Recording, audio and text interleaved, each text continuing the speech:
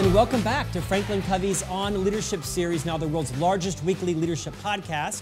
Thanks to all of you who are subscribing and inviting your friends, family, and colleagues to do the same. My name is Scott Miller, and I serve as your host each week. I am a 25 year associate with the Franklin Covey Company and honored to be a part of this amazing podcast interview where each week we have conversations with some of the world's most renowned thought leaders on the broad topic of leadership development. Sometimes we venture into marketing, brand, parenting, things like that. Today's conversation is focused around this idea of leaders as coaches. Now, the world has no shortage of independent consultants hanging up their shingle becoming coaches and helping all of us in our careers, our career transitions, our moves into leadership roles.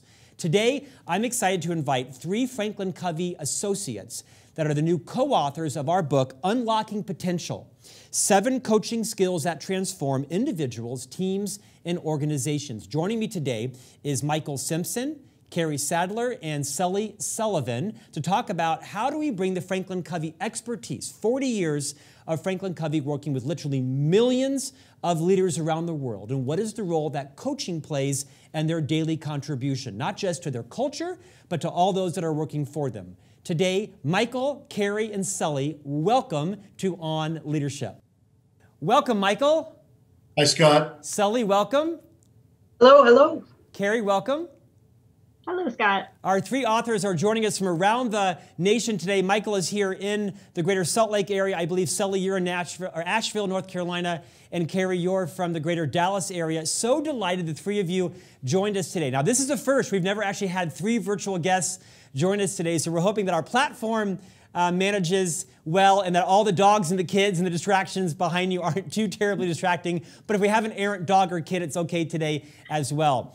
What I'd like to do is manage the conversation this way. Michael, you are a nearly three decade executive level leader inside Franklin Covey. You have been an author, an executive coach, a senior consultant, one of our key thought leaders as it relates to coaching, leadership development. You were a very dear friend of Dr. Stephen R. Covey and Hyrum Smith, our co founder. And just shy of a decade ago, you were leading Franklin Covey's coaching practice prior to the acquisition of the famed leadership firm, coaching firm out of Ohio, Robert Gregory and Associates. As part of that role, when you began to help build the coaching capability inside Franklin Covey, you authored this book originally called Unlocking Potential. Recently, we have re released this book with new insights from Sully and Kari, experts from our coaching practice. I wonder if, uh, Michael, you would kind of rewind eight years ago and talk a bit about the original genesis of the book, why coaching became such an important need of our clients, and also would you fill in a bit of the gaps on how the four essential roles of leadership, which is Franklin Covey's, if you will, kind of main stage work session, where coaching fits into those four essential roles? Great question, Scott. Um, yeah, about 2007, 2008, uh, Sean Covey was looking at adding coaching to Franklin Covey's sort of toolbox. Uh, we had a lot of great content, and we were asking the question how do we bring about behavior change? How do we sustain results? And certainly, all the research on coaching pointed to that outcome. And so I went through the uh, Columbia Executive Coaching Program for one year. Um, in working with a lot of our leadership clients worldwide, like TE Connectivity, we were taking a lot of our leadership content to uh, the world, literally TE Connectivity, about 3,000 leaders all over the world. And we were asking ourselves this question how do we frame the conversation around our content to start having coaching conversations? And the, the you know, unlocking potential was really kind of a predecessor, if you will, to the four essential roles of leaders. And you say, well, what are the four essential roles? The first core area is around inspiring trust. Uh, the second role is around clarifying vision and clarifying strategy. Uh, the third is around goal execution. And the fourth is around coaching and engaging our talent. So, those four essential roles really, the book initially was written with the four roles in mind. And you'll see that kind of weave throughout the theme for every leader, manager to become a great coach with that sort of as the framework. Michael, the book, prior to Sully and Kari, you, joining you on its reissuance the last couple of days, I mean, this book sold nearly 100,000 copies, right? This is a large field. The, I'm guessing the, the shelves of coaching books are not few. Why do you think this particular approach has done so well in the initial launch of Unlocking Potential? Um, I, I, would say primarily. Other than your masterful writing, of course, right? yeah, aside from just terrific writing, um, you know, really, you look at it, you know, people are looking for change. They want to change their mindset, change their language, change their behavior, change their results. And I think matched with Franklin Covey's world class content, you see this sort of need for coaches to frame the right kinds of conversations in the right way at the right time. And so it's really written weaving in some of the world's best leadership content in a way where people can start having conversations. They can start asking the tough questions, creating a safe environment for people to think about how they're showing up, where they are now, and, and where they want to go on their journey for performance. And so, really, it was written with that intent to leverage some of Franklin Covey's content and provide just some basic coaching skills and tools for executives, for leaders, and even down with supervisors and teams. Sully, several years ago, Franklin Covey made an acquisition, which was the firm that you were a co owner in, Robert Gregory Partners. And it was a coaching leadership development firm. You've been in the coaching business for, gosh, just shy of 25 years. As you, Sully, coach executives and leaders around the world from your own esteemed leadership career, what are the biggest deficits that you see leaders facing that they're trying to address when it comes to the coaching competency uh, Franklin Covey's offering? All leaders want to be better coaches. They want, they are intentionally engaging with people in an effort to help them grow. That, that's their primary objective.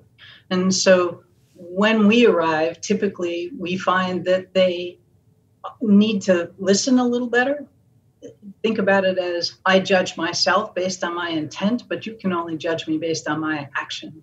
So the ability to listen for the sake of understanding and not for the sake of reloading on your argument, and to be able to ask the tough questions, but be able to then engage in the dialogue, as Michael talked about.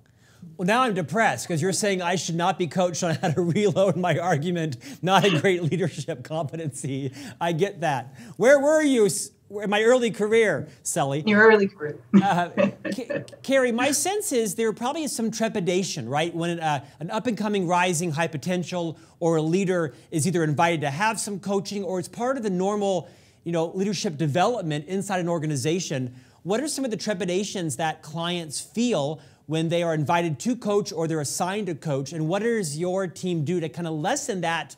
You know, anxiety so that someone can maximize the benefit of, of uh, leadership coaching?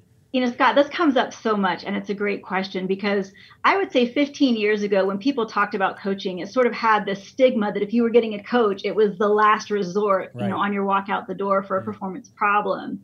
And in today's world, people have really embraced the idea that anybody who wants to master their craft, whether they're a speaker or a basketball player or a leader, if you really want to be the best at what you do, someone who's outside of the picture has to be giving you feedback, pointing you in the right direction, and helping you see your blind spots. And so I think that one of the ways we really help leaders um, with that fear they may have initially coming into it is by setting it up as you know, a coach is a gift to somebody who's performing really well where they are, and we're just trying to take them to, you know, the solid gold status. We want them to be world class, and if you're going to be world class, um, you need sometimes that outside perspective. Michael, in a moment, I'm going to ask you to expand on some of the connections between the content in the book and Franklin Covey's four essential roles of leadership offering. Before we go there, Sully, I want to come back to you for a moment. When someone is a leader, they're in a formal people leadership role, and they are improving their coaching skills. You know, they're being coached, but they are now performing better as a coach. What does that look like? What does that feel like?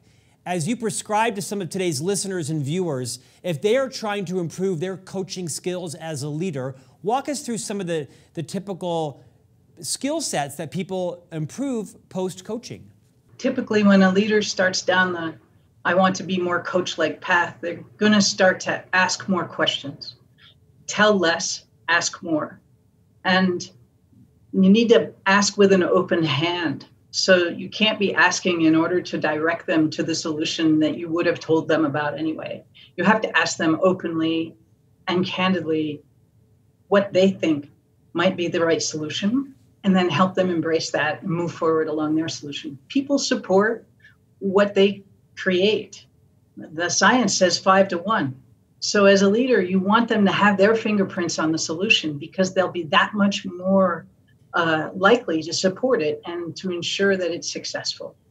So, the more questions you ask and honestly hear the answer and then let them take forward their ideas and show their potential and their talent instead of simply rehashing some idea you may have had, that's really the first sign. Sully, I'm guessing that's counterintuitive for a lot of leaders, including leaders like myself, where we're conditioned to think, okay, so now I'm the leader. My job is to have all the answers. My job is to solve the problems. My job is to, in some cases, rush in and save the day. How do you help leaders like me, for example, realize that actually that's not my contribution? My contribution is to make sure that five to one, it's the people's idea, the team members' idea, so that they own it as opposed to me forcing it on them. Absolutely, uh, that's that's that's a, the big first step, right? The first step is to is to consider that they may actually have a better solution than whatever you had in mind, and then be willing to let them explore that and learn through it and deliver through that. They improve their engagement, they improve their productivity, and often they'll outstrip the results that you had in mind by a factor of two or three. So always be looking for their solution and helping them implement their solution. By the way, it makes it a lot easier for you. You don't have to solve all the problems anymore. Now all you have to do is turn them on and let them loose. Again, where were you, Sully, 30 years ago in my career? Reminds me of one of the many hundreds of profound things our co author, Dr. Covey, said. You know, humble leaders are less concerned with being right and more concerned with what is right. Michael, let's have you talk about one of the big themes in the book, which is this, this concept known as strategic narrative. We teach this in the four essential roles of leadership offering. Kind of take us on a journey when a leader has the proper coaching and they're able to coach. What is the value of understanding, communicating this concept known as strategic narrative, Michael? Thanks. I, you know, the strategic narrative is a great way to get right to the C suite when you're coaching because every organization needs to really rethink or look at their strategic direction, their formulation, their planning. And the strategic narrative is really five core key questions and a, and a dialogue and a conversation that any coach can have with these executive teams. The first one is really around getting curious and understanding their overall marketplace. What is the organizational context? And that's the, the competitors, the customer's needs, the market demands, it could be government changes. There's a whole series of questions we can get really curious with leaders around the context of what changes are coming at them. Think about the world of COVID, right? It's it's all about how do we manage and lead in a virtual environment? Um, how do we manage change? How do we provide strategic clarity with all these disparate people? And then we kind of move secondly to getting curious and asking questions around the job to be done. It's based on a lot of the research from Dr. Clayton Christensen, but it's really around who are our customers? What are their needs? And how well are we satisfying those needs? And as we have those honest conversations, we can really look at how leaders can get focused on serving and engaging and creating loyalty with their customers. The third key question is really around our money making model. That's more on the business side. On the government side or education side, it's more around mission and purpose and how do we make a difference. But on the money making model, we're really looking at why does your organization exist and how do you make money, right? That's the economic engine that fuels everything else.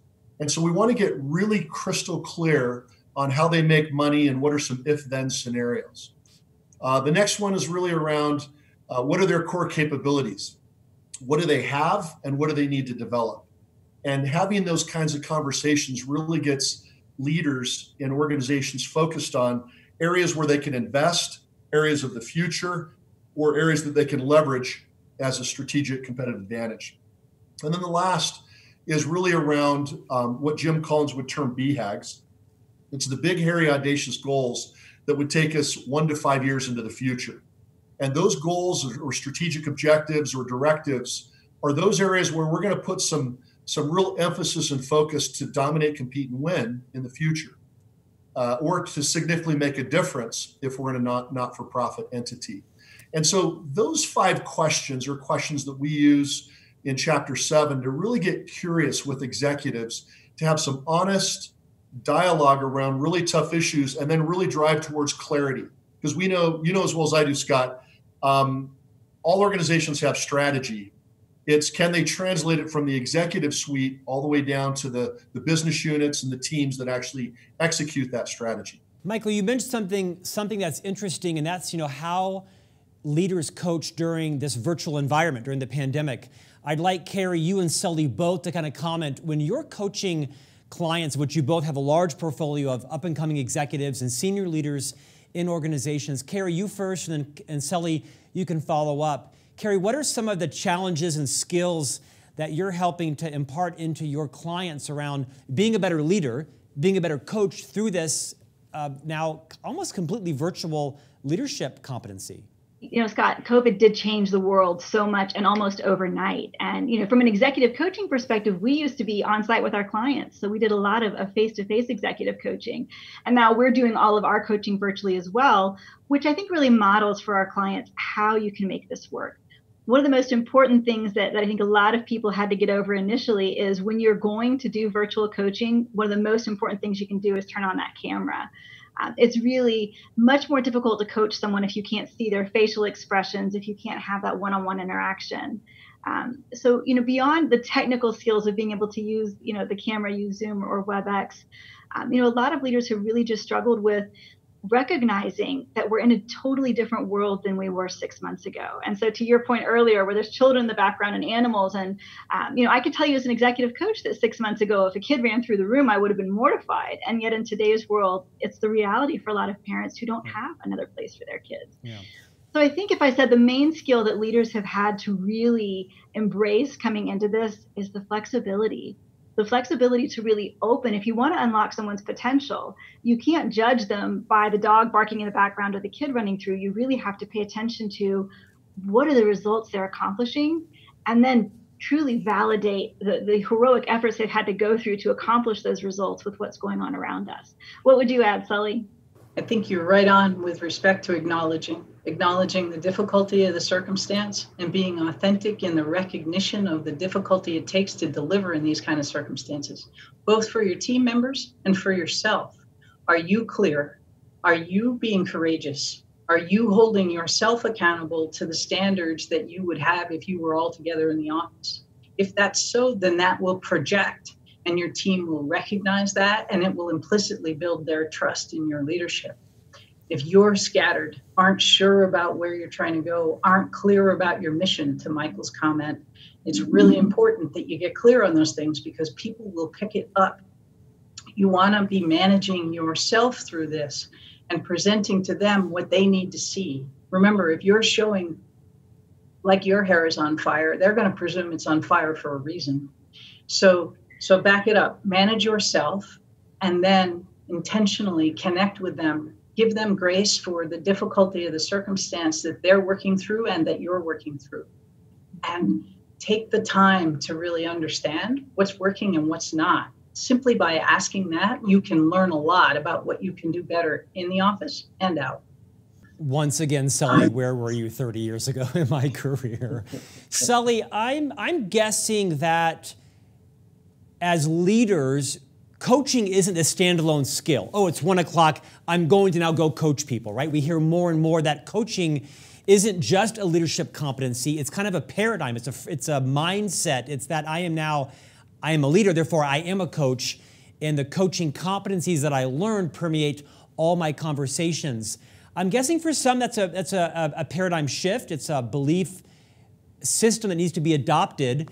Do you find that most leaders are now able to integrate this concept that, oh, I'm coaching in every conversation? It isn't just, oh, I'm flipping into coaching mode. What are some of the tips you might give clients, Sully, on how to make sure that you have a coaching mindset just like you have a leadership mindset? Absolutely. We do find that the most successful leaders are easily able to adopt a coaching approach and to maintain that in 97% of their conversations. And we know from the data that people want to be coached. They don't want to be told. they want to learn from you they want feedback from you they want to be acknowledged for the effort and they want to have a clear direction but not necessarily a task right they want to be challenged and so as a as a successful leader you want that for them as well and so one of the tricks that we use is to have them think about a role model somebody they've seen who does this well and act like mm-hmm. them or think about how you would want to be treated and act like that instead of having a dogmatic approach to having to be a command and control leader. I, I think you'll find that most people are are able to adopt this different persona if they have a role model in mind. Michael, the book is titled Unlocking Potential Seven Coaching Skills That Transform Individuals, Teams, and organizations. Very briefly, those seven skills, and I won't go through them all in extensive detail. People can buy the book, it's easy to purchase. Um, the skills are build trust, challenge paradigms, seek strategic clarity, execute flawlessly, give effective feedback, tap into talent, and move the middle. Beyond those seven skills you teach in the book, and we teach in many of our coaching engagements, there are four principles of coaching Michael, that you wrote about in the original book and that Sully and Kari talk more about in the new expanded version. Michael, I'd like you to take a minute, if you would, on each of those and talk about these four principles of coaching trust, potential, commitment, and execution. Michael, take those in order, if you will. First, talk about trust. Um, trust really is how am I showing up as a coach? Do I have credibility? I think Sully mentioned this whole idea of are we showing up as a manager from an industrial mindset, or are we truly showing up as a leader, as coach from a knowledge worker mindset? In the book, lays out those two styles of building trust. Are we pulling out the baseball bat, micromanaging, controlling, uh, telling people what to do, telling people how to do it, or are we moving more to that leader as coach that empower, that engages, that sees ourselves as equals, not as someone sort of commanding or leading from the top? Um, on the potential side, uh, the International Coach Federation talks about all of us are creative, resourceful, and whole. The, the people have the capacity inside themselves. Our job is to create the conditions, right? The right space, the right boundaries of trust, confidentiality, and create a space where people have that psychological safety. And the idea is that the potential is, is, is within people. I'm not giving them potential, they already have it and as Sully demonstrated, as well as Kari did, we need to ask the right questions that will solicit that potential that's inside everybody. Um, when people are treated as a whole person, right, rather than as a thing, people have that, that more desire to be committed to the team, to the mission, to the purpose. And so we always say no involvement, no commitment. Um, if you want to change the world or your world as a leader, become a great coach that's how you gain commitment. You solicit it from them as you're directing them towards the mission, the vision, the values, the strategy, and the goals. And then execution. At the end of the day, everything is about producing results. But the biggest part, as we know, there's there's never an underabundance of things to go after in this day-to-day whirlwind, right, Scott? We're, we're, we have all these competing demands. At the end of the day, the core principle with coaching is how do you narrow the focus and how do you look at the results that are important to you and your team and that's really that execution process that we use as we coach others and then we hold them accountable along the way michael well said you spend much of your time with franklin covey out at senior level engagements whether you're facilitating teaching speaking on stage or even coaching executives kari you and sully are typically in back-to-back coaching calls planning strategy sessions with clients that are implementing franklin covey's coaching kari i'm going to give you the last question and answer. You know, many of our clients that are listening or watching today, many of them are members of Franklin Covey's All Access Pass, which in essence is a subscription to all of our solutions that comes with an implementation specialist that lets clients understand which solution to match which problem, which competency they're trying to grow in their firm. And many of our clients, for example, those that implement the four essential roles of leadership, may choose to add coaching onto that. A good example might be you might have a, a Fortune 5000 client that chooses to train, you know, four to 5,000 leaders in these leadership principles, but they might elevate a couple of hundred high potentials to some coaching. I'm guessing that's not the formula for everyone. Kari, would you take a couple of minutes and just maybe inform our listeners and viewers whether they're all access pass clients or they're not? How might someone engage Franklin Covey in our coaching practice? And what are the different ways in which they can adopt and kind of get involved with our coaching um, capabilities? Absolutely, Scott. So, um, you know, a lot of what you read about when when you read Unlocking Potential, there are so many stories of executives who have gone through, you know, really intensive six and nine month coaching engagements with, you know, people like Michael and Sully and myself. Um, but that's not the only way that we do coaching at Franklin Covey.